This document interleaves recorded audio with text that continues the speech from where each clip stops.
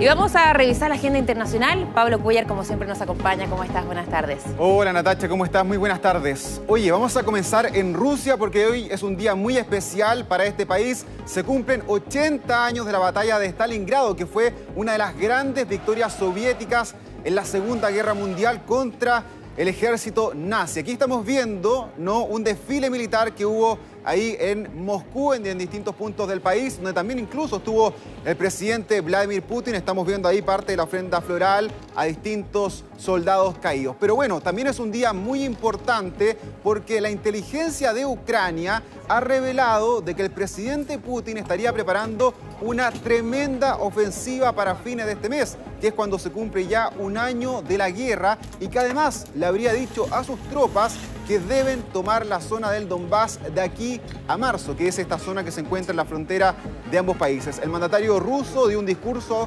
donde le habló justamente al ejército sobre sus avances y dijo que va a responder a los países que están enviando tanques a Ucrania. Escuchemos lo que dijo Putin.